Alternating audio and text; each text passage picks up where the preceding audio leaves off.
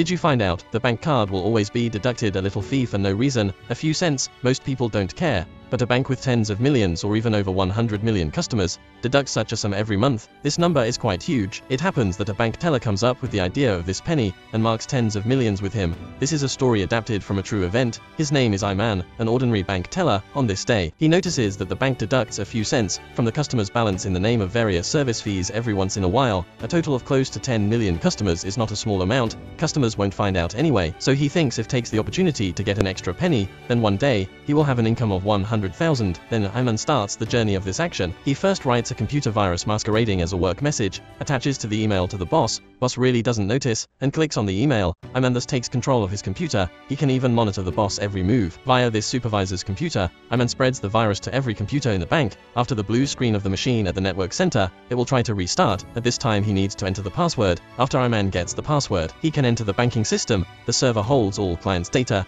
Then he deducts a penny from the bills of 9.5 million customers, all marked as service charge. That's 95,000 ringgit. But the money has to be transferred. Definitely can't use his own account. It's too risky. In the end, Iman found an account in the bank that hadn't been active in 10 years. Successfully transfers money there. Yes! Yes! Yes! However, the next second, there is a hasty knock on the door. Just two days ago, Iman is still a law-abiding worker, although he is stilled, because of little education, can only be a teller with a monthly salary of 2000. However, Inton, who is his childhood sweetheart in the bank, already a cybersecurity executive, but whenever there is a problem that cannot be solved, in the end it's up to Iman. Iman has long been tired of this kind of life, but fate does not give him a chance to breathe. One day, father suddenly falls ill, need big amount of money for surgery. Just when Iman is at a loss, the local gangsters suddenly kidnaps him. It turns out that his father took some loan sharks earlier. Iman only has two days left. Under double pressure, Iman finally comes up with the penny idea. Now just succeed, but Loan Shark comes again. Iman is rich now, but haven't had time to get it yet. He can only turn around and jump off the building to escape. After getting into a taxi, the two sides start racing on the road. At this moment, Iman still has to think about how to withdraw the money in order to be safest. First of all, must not transfer money directly online, that's all recorded, too risky. Secondly, ATM withdrawal limit, so the only way is to withdraw at the counter. With knowledge of banking business, Iman forges a company email, confirm with the bank in advance that someone will go to withdraw money. At this moment, the pursuers in the rear have already drawn their guns, but the driver is brave enough. Seeing the bullets coming, the car is going faster and faster. Finally, they reach the door of the bank. Iman hurriedly shows the forged documents in advance, successfully withdraws money, not only pay off the shark loan, the rest of the money is enough to arrange for his father to have an operation. Thought it is over, but when Iman comes back to work the next day, just sees the news that his boss was shot last night, security immediately block the bank, wait for the police to arrive. Iman at the front desk panicked, because the boss computer still has the email he sent yesterday. If found, implanting the virus will also be fully exposed, so he has to delete the virus from the server before the police. But the problem is, he doesn't have permission to enter the computer room at all. Due to tenseness, Iman throws up in the toilet. At this time, an employee in the network department has diarrhea, hastily put the phone on the sink. Suddenly, Iman has an idea. He tears off the tempered film of the phone. A fingerprint is clearly visible, and this is the key to the computer room. He changes into cleaner clothes, avoid all eyes and ears. First come to the network center, Iman upgrade system manually, temporarily shuts down all surveillance of the bank, by himself 15 minutes. After searching, he randomly selects an employee who is able to enter the computer room and copies his badge. Finally, he reaches the computer room, starts working on the server. Now the security guards have also noticed the abnormality, then rushes to the scene. Iman tries to deal with them, and buys yourself some time. The virus is successfully removed, and he manages to escape from the computer room at the last moment. Back to the front desk.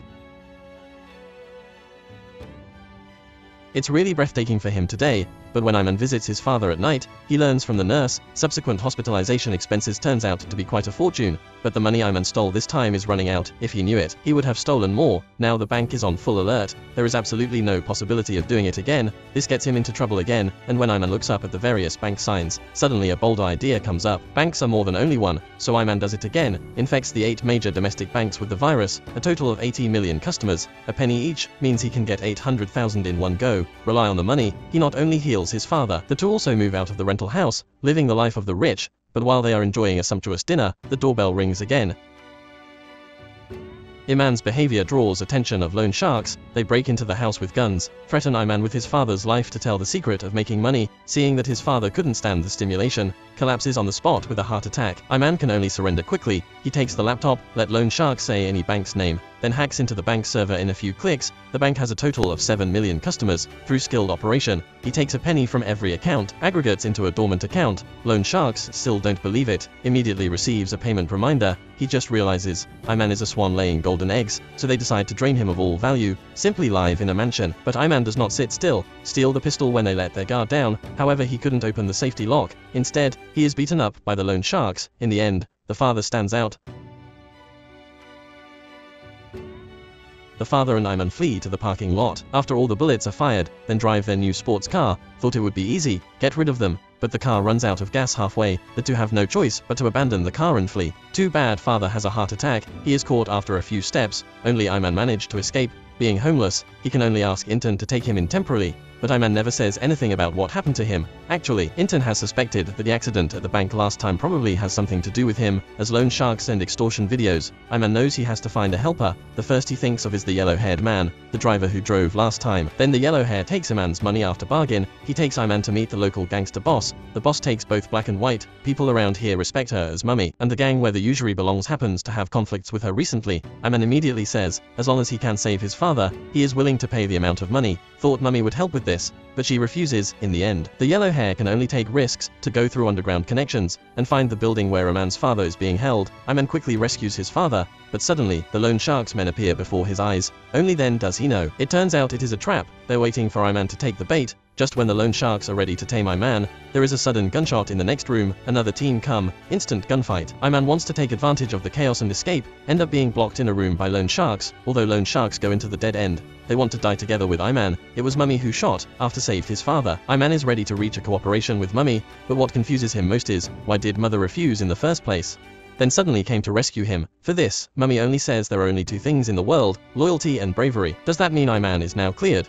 Mummy doesn't answer. After she leaves, suddenly two policemen show up, take Iman away, police force Iman to cooperate, find out who is behind last night's shootout, but no matter how brutally extorting a confession Iman faces, even death threats, does not disclose any information. Then Mummy appears from behind. It turns out that the two policemen belong to Mummy too, Finally Iman passes the test, officially becomes Mummy's subordinate, but he's in no rush to make the next move. Seeing that with the bank's continuous investigation, Iman's suspicions grow, he knows he has to find a scapegoat so he could keep working. Finally, Iman chooses a colleague from the cyber department, hacks into his computer while he is on vacation, leaves evidence of the virus inside, and puts that Forge ID on his desk. Soon the colleague is taken away by security, the bank makes everything cleared. Inton also expresses her regret for doubting Iman before. After clearing all responsibilities, Iman officially resigns on this day, starts a full-time hacking career.